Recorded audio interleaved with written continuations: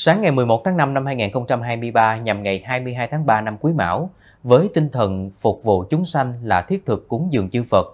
hòa cùng không khí đón mừng Đại lễ Phật Đản Phật lịch 2567, nhân tưởng niệm 60 năm ngày Bồ Tát Thích Quảng Đức vị Pháp Thiêu Thân, 11 tháng 6 năm 1963, 11 tháng 6 năm 2023. Ban từ thiện xã hội Phật giáo tỉnh Tiền Giang kết hợp với chính quyền địa phương xã Vĩnh Kim tổ chức lễ bàn giao nhà tình thương cho hộ bà Nguyễn Thị Kim Anh, sinh năm 1958, cư ngụ tại ấp Vĩnh Bình, xã Vĩnh Kim, huyện Châu Thành, tỉnh Tiền Giang.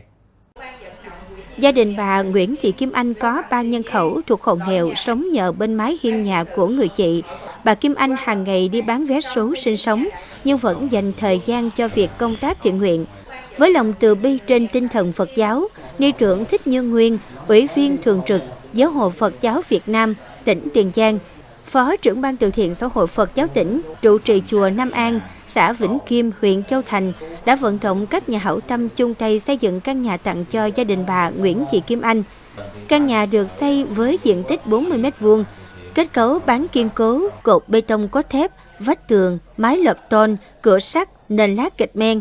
Tổng kinh phí xây dựng là 80 triệu đồng, trong đó chùa Nam An vận động mạnh thường quân là 60 triệu đồng, phần còn lại là do quỹ hỗ trợ người nghèo đóng góp. Tại buổi bàn giao căn nhà, Thượng tọa Thích Trung Chánh, Phó trưởng ban trị sự, trưởng ban từ thiện xã hội Giáo hội Phật giáo Việt Nam tỉnh Tiền Giang, cảm niệm ân đức ni trưởng Thích Như Nguyên và quý mạnh thường quân có tấm lòng xã ly vì cộng đồng.